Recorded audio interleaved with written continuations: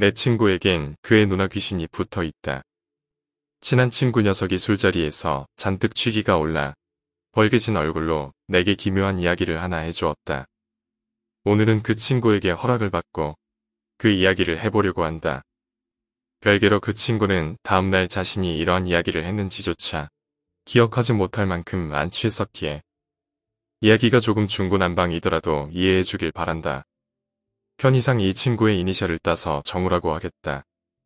정우는 대학교에 입학 직후 있었던 학과 OT에서 만나 친구가 된 아이인데 검은 생머리에 뿔테 안경을 낀 조용하고 얌전해 보이는 인상의 남자아이였다. 솔직히 처음 보았을 땐 그 녀석이 평범하게 태어나 평범하게 자라서 평범하게 대학교에 진학한 아이라고 생각했다. 이내 친해지고서 그 아이의 삶이 그리 평탄치는 않았구나 하고 짐작하게 되었지만 말이다. 평소보다 많은 양의 술을 털어넣으며 정우는 내가 짐작만 하고 있던 자신의 이야기를 천천히 그리고 아주 자세하게 이야기해 주었다. 최근까지 이어져 온 그의 기묘한 경험에 대해서도 말이다. 정우의 어머니는 그가 아주 어렸을 적 돌아가셨다. 어른들은 그것이 불행한 사고라고 말했지만 어느 날 외가댁에 갔을 때 정우는 자는 척 돌아누워 밤늦게까지 술잔을 기울이던 친척 어른들의 쑥덕거림을 들었더랬다. 그 아이가 사고 전에 정우를 잘 부탁한다면서 전화를 했다느니 우울증을 앓고 있었다느니 그리고 아마 그 이유는 아버지의 바람기 때문이라는 것까지 정우는 아버지에 대해서 아무런 감정도 가지고 있지 않았다. 그에게 아버지는 그저 식탁 위에 용돈 몇만 원을 올려놓고 일을 가는 사람이었고 그다지 말을 많이 나누지도 않았다. 아버지라기보다는 동거인에 가까웠다. 정우는 아버지에 대해 말하며 웃었다. 아버지는 어머니가 돌아가신 후에 여러 번 애인이 바뀌었다. 향수 냄새가 아주 독했던 어린 여자부터 족제비 같이 생긴 아줌마도 있었다. 그래도 족제비를 닮은 그 아줌마는 정우에게 맛있는 것을 많이 주었더랬다. 그러다 정우가 초등학교 4학년 무렵 아버지는 화려한 미인을 새엄마라고 데려왔다. 그 미인인 엄마를 똑같이 닮은 정우보다 4살이 많았던 누나와 함께 말이다. 새엄마는 히스테릭했다. 그리고 정우의 일거수일투족을 감시했다. 성적이 떨어지면 동네가 떠나가라 고래고래 소리를 질렀고 집에 조금 늦게 들어올 때면 현관에 한 시간을 세워두고 어디서 뭐 했는지 이상한 짓을 하고 다니는 것은 아닌지 꼬치꼬치 캐물었다. 방에 들어와 일기장을 마구 뒤지기도 하고 핸드폰의 문자나 통화 내역도 감시했다. 그런 미인이 정상이었다며 애 딸린 바람둥이랑 결혼을 할 리가 없지라고 정우는 그렇게 말했다. 누나에게 그런 엄마는 미친년이었다. 분명 학교에 교칙이 있을 텐데 누나의 머리는 항상 노란색으로 염색되어 있었고 교복은 터무니없이 짧았다. 눈에는 진한 화장이 되어 있었다. 누나는 엄마가 히스테릭하게 소리를 지를 때마다 그보다 더 큰 소리로 깔깔 웃었다. 그리곤 씩씩대는 엄마의 눈을 빤히 쳐다보며 내뱉는 것이다. 미친년. 그럴 때면 엄마는 찢어지게 소리를 지르며 누나를 향해 욕을 했다. 그러면 누나는 그저 문을 쿵 닫고 들어가 잠갔다. 엄마가 아무리 문을 쾅쾅 두드려대도 대답하지 않았고 놀리듯 아주 큰 볼륨으로 음악을 틀었다. 그렇게 한두 시간을 대치하다 보면 엄마가 제 풀에 지쳐 물러났다. 누나는 늘 늦게 들어왔고 상스러운 욕을 했다. 이따금 바깥에서 볼 때는 골목길에 화장을 진하게 한 다른 누나들과 담배를 피우는 형들 사이에 서 있는 모습이었다. 엄마가 곧잘 말하는 절대로 어울려선 안 되는 나쁘고 천박한 아이들이 아마도 그들이고 또 누나의 친구들이었을 것이다. 어느 날부터는 집에 들어오는 누나에게서도 담배 냄새가 났다. 엄마가 누나에게 미친년이었다며 정우는 누나에게 병신이었다. 누나는 이따금 정우와 눈이 마주칠 때면 씹어뱉듯 말했다. 병신 새끼. 누나와도 그다지 많은 이야기를 나누지 않았다. 누나도 그다지 이야기하려고 하지 않았다. 그러나 가끔 방학 때 엄마도 아빠도 집을 비운 날에 누나는 정우를 집 앞 패스트푸드점에 데려갔다. 엄마가 이런 음식을 질색하는 탓에 정우에겐 그것이 패스트푸드점에 처음 간 것이었다고 했다. 햄버거를 허겁지겁 먹는 그를 빤히 바라보다 누나는 또 그랬다. 병신 새끼.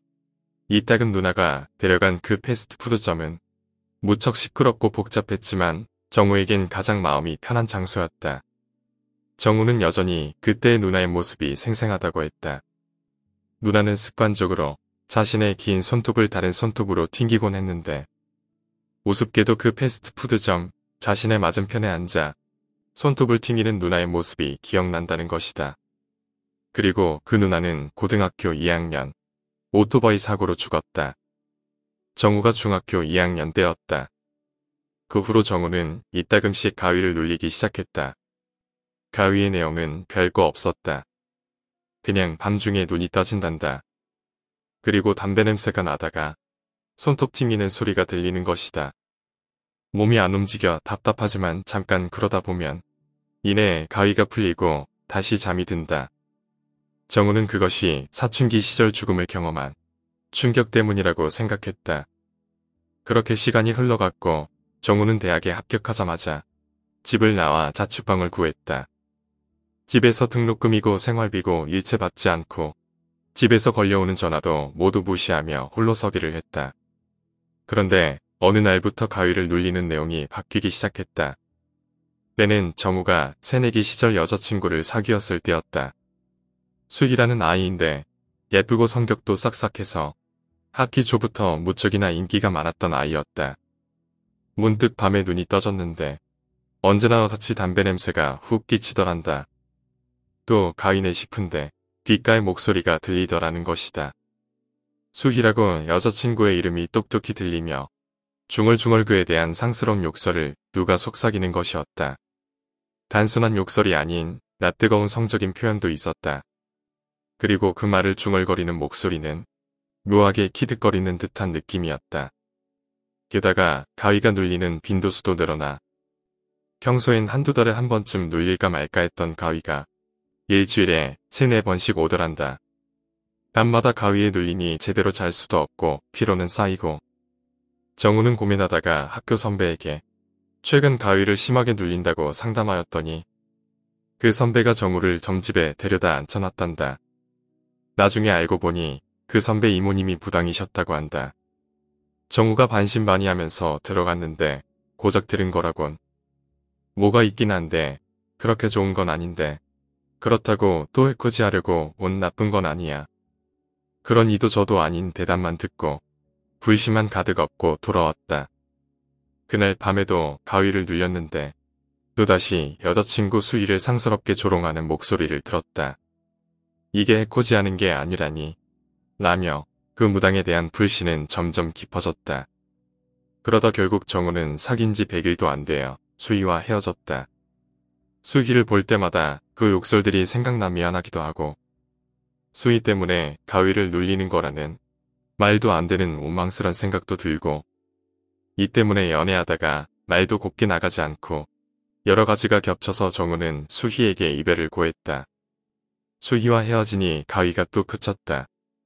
그 후로 몇 번 더 가위를 눌리는 일이 있었지만 예전처럼 담배 냄새와 손톱 튕기는 소리만 들렸을 뿐이었다. 정우는 저것이 진짜로 누나인지 아니면 누나인 척하는 미친 귀신인지 모르겠다고 말했다. 진짜 누나라면 제 연애사에 간섭할 것은 무엇이며 누나인 척하는 미친 귀신의 괴롭힘이거든. 왜 고등학교 때 여친들을 잘 사귈 땐 조용해놓고 이제 와서 이 지랄인 것이냐. 정우의 답답함은 커졌지만 그 일은 그럭저럭 그렇게 지나갔다. 그 몇 년 뒤에 정우에게 정말로 이상한 일이 일어나는데 그것은 그의 자취방에서부터 시작했다. 정우는 제대 후 자취방을 새로 구하던 중이었다. 싼 가격에 좋은 위치였고 맘에 쏙 드는 방을 발견하여 그리로 이사했는데 그 집이 무언가 이상했던 모양이다. 벽에는 작고 곰팡이가 슬고 음식이 냉장고에 두었는데도 금세 상했다. 햇빛과 바람이 잘 들지 않아 그런가 싶었는데 정우 혼자 하는 방에서 자꾸 긴 머리카락이 발견되었다. 전에 살던 사람의 흔적인갑다 대수롭지 않게 넘겼지만 그 집에 이사 간 지 일주일 만에 정우는 이상한 악몽을 꾸게 되었다. 침대에 누워 있는데 바깥에서 다다닥 하는 소리가 들리는 것이다. 무슨 소리지? 하고 침대에 누워 방 밖으로 고개를 돌리니 긴 머리의 여자가 네 발로 뛰어다니고 있다. 그러다 휙 하고 고개를 돌려 눈을 맞춘다는 것이다. 깨어보면 그 얼굴은 기억나지 않고 온몸이 식은땀에 젖어 있었다. 방에 혼자 있는 것이 무서워 친구들을 부르기도 하고 다른 친구네 집에서 자기도 하고 동어리 방에서 잠을 자기도 했다. 하지만 매일같이 그럴 수는 또 없는 노릇이지 않은가. 며칠 만에 집에 들어가 잠을 자면 네 발로 뛰어다니는 그 여자 꿈을 꾸었다. 그리고 꿈은 점점 진화했다. 처음엔 여자가 고개를 돌려 눈을 맞추면 끝나단 꿈이 길어졌다. 여자는 정우가 있는 쪽을 쳐다보고 정우를 향해 달려왔다. 처음엔 방문 앞까지, 그 다음엔 방문을 넘어서, 그 다음엔 침대 옆까지. 여자가 침대까지 닥쳐온 꿈을 꾼 날. 정우는 부들부들 떨며 지푸러기라도 잡는 심정으로 예전에 무당집을 소개해준 선배에게 전화를 걸었다. 선배는 이모님이 부재 중이시라며 3일 뒤에 만나자고 약속했고 정우는 속으로 3일만 버티자라고 생각했다고 한다. 3일 동안은 동아리방이나 학회실에서 자겠다고 마음먹었는데 그 전날 낮에 잠깐 전공책을 가지러 집에 들렀다. 낮이라 햇빛이 들어 그런지 자취방이 그다지 무섭게 느껴지지 않아 다행이라고 생각했다. 그러다 핸드폰 배터리가 간당간당해서 배터리를 충전해두고 잠깐 쉰다는 걸 그만 깜빡 잠이 들어버린 것이다. 그리고 그 네 발로 뛰어다니는 여자가 다시금 꿈에 나왔다. 정우는 눈을 질끈 감았다. 다다닥 하는 소리와 함께 여자는 정우의 위에 올라탔다. 목을 콱 조였다. 꿈일 텐데도 목이 졸리는 기분이 들었다. 눈을 감았는데도 여자의 얼굴이 보였다. 시뻘건 눈에 시체처럼 푸른 피부. 긴 머리의 여자는 입이 귀까지 찢어져라 활짝 웃고 있었단다. 죽는 건가라고 생각하며 정신이 혼미해지는 그 순간 여자가 누가 뒤에서 당긴 듯 주르륵 미끄러져 내려갔다. 그리고 담배 냄새가 났다. 정우는 그때 슬쩍 눈을 떴다. 항상 냄새, 또는 소리였는데 그때는 정우의 눈에 똑똑히 보였다. 노랗게 염색을 한 머리의 여자가 지팡이 따위를 들고 그 긴 머리의 여자를 개패듯이 패달한다. 바닥에 엎드려 놓고 온 힘을 다해 풀스윙으로 두들겨 패는데 정확히 사람은 아니지만 사람 형체가 그렇게 두들겨 맞는 것을 처음 봤단다. 그렇게 한참을 미친 듯이 두들겨 패던 여자가 드디어 멈추고 미동도 없는 긴 머리 여자의 머리채를 잡고 질질 끌고 방 밖으로 나갔다. 몸이 안 움직이니 뭐라 말도 못하고 움직일 수도 없고 멍하니 그 뒷모습을 바라보는데 여자가 문득 문간에 서서 딱 뒤돌아보는 것이다. 그 얼굴은 정우가 생생하게 기억하던 패스트푸드점에서의 누나의 얼굴이었다. 딱 한마디가 들렸다. 병신 새끼. 그리고 정우는 꿈에서 깼다. 왠지 모르게 안도감이 들고 그렇게 눈물이 나더란다. 다음날 그때 갔던 무당집에 들어서니 그 무당 아주머니가 정우를 보고 말했다. 거봐, 해코지하러 온 거 아니라니까. 그 이후로 정우가 그 자취방에서 네 발로 기는 긴 머리에 여자의 꿈을 꾸는 일은 한 번도 일어나지 않았다. 그저 또다시 아주 가끔 담배 냄새와 함께 손톱을 튕기는 소리를 듣는 가위를 눌렸을 뿐이었다. 정우는 나에게 이 기묘한 이야기를 해주곤 술에 취해 패스트푸드점에 들려 햄버거 세트를 샀다. 그 다음날에 누나 제삿날이랬다. 가족 중엔 아무도 누나 제삿날을 챙기지 않는다고 그냥 누나 좋아하던 햄버거 세트를 사서 놓는 게 제사 대신에 연례 행사란다. 격식 하나 없는 제사상이지만 누나는 딱히 신경 안 쓸 것 같단다. 그게 진짜 누나인지 아님 누나 탈을 쓴 귀신인지 모르겠지만 깊이 생각 안 하려고 한다며 햄버거 세트를 안고 정우는 집으로 돌아갔다. 나는 무속인은 아니고 그러한 능력은 쥐뿔만큼도 없지만 나는 그게 정우의 누나라고 생각한다. 정우는 아직 모르는 모양이지만 정우의 전 여자친구이던 수희 그 계집에 그 뒤로 남자친구들이 몇 명 있었는데 나중에 듣기로 그 남자친구들에게 고액을 빌려서 잠적 탔단다. 어디 사이비 종교에 심취해서 돈을 긁어 빌려다가 거기에다 헌금했다나 나도 순이의 부탁에 30만원 정도를 빌려준 적이 있었는데 받긴 글렀다. 내 친구에겐 그의 누나 귀신이 붙어 있다. 뭐, 딱히 좋은 건 아닌데 해코지 하는 것도 아니란다. 오늘 이야기는 여기까지입니다.